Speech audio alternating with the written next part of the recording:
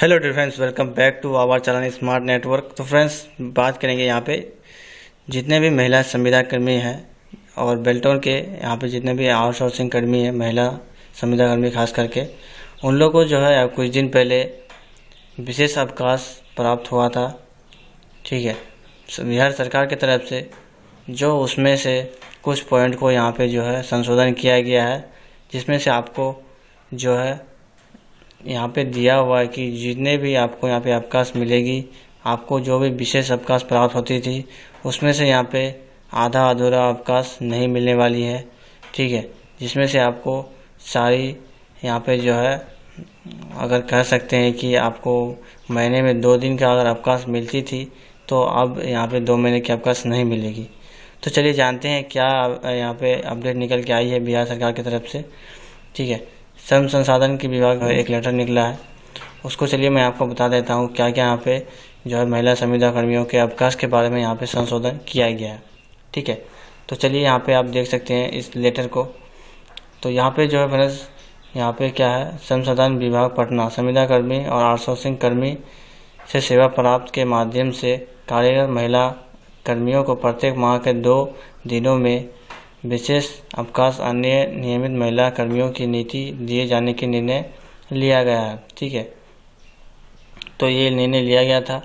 तो सभी कार्यरत महिला कर्मियों को, नियमित महिला कर्मियों की भांति प्रत्येक माह में दो लगातार दिनों के लिए विशेष अवकाश एक ही बार दे होगा, ठीक है?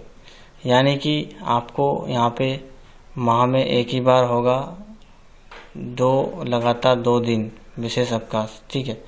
उसके बाद यहाँ पे जो है, दूसरा पॉइंट क्या है? यह विशेष अवकाश, सभी संविदा कर्मियों और बेल्टोन से सेवा प्राप्त माध्यम से कार्यरत महिला कर्मियों के पाँचांग वर्ष के अनुमान्य आसमिक अवकाश के अतिरिक्त दे होगा, ठीक है? तो यहाँ पे खासकर बेल्टोन के आउटसोर्सिंग महिला संविदा कर्मियों को यहाँ पे ये सेवा प्राप्त होगा, ठीक है?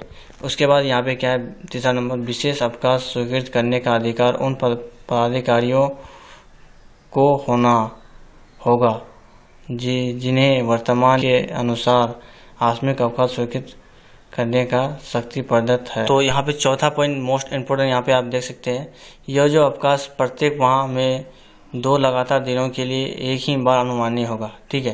तो यहाँ पे आप देख सकते हैं मतलब कि दो लगातार दिन नहीं आप ले सकते हैं, एक बार ही अनुमान्य होगा।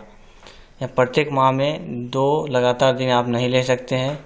इसका मतलब एक ही बार मतलब ए, किसी एक महीने में आप दो बार ले सकते हैं या फिर आप दूसरे महीने में ले सकते हैं। एक ही माह में दो बार आपको यहाँ पर लगातार अवकाश नहीं प्राप्त होगा ठीक है? तो विशेष अवकाश के उपभोग हेतु तो आवेदन सूचना दिया जाना अनिवार्य होगा। यह आदेश तत्काल प्रभाव से लागू हो लागू हो चुका है फ्रेंड्स। संशोधन विभाग की तरफ़ से तो आई होप आपको समझ में आ गया होगा कि क्या क्या यहाँ पे संशोधन किया गया है फ्रेंड्स ठीक है? तो यहाँ पे आपको लगातार दो महीने, यहाँ पे दो दिन का लगातार आपको अवकाश प्राप्त नहीं है। तो आई होप कि फ्रेंड्स आपको समझ में आ गया हो कि महिला संविदा कर्मियों के बारे में यहाँ पे जो भी विशेष अवकाश प्राप्त होती थी, उस पर जो संशोधन किया गया है, आपको पता चल गया है कि क्या यहाँ पे संशोधन किया गया फ्रेंड्स ठीक है? तो आशा करता हूँ कि आपको ये वीडियो हेल्पफुल लगी है। वीडियो इन्फॉर्मेटिव लगी है तो आप वीडियो को लाइक करना, चैनल पर नया चैनल को सब्सक्राइब करना, साथ ही साथ बेल आइकन को प्रेस कर लेना। मिलते हैं नेक्स्ट वीडियो में तक के लिए कीप वॉचिंग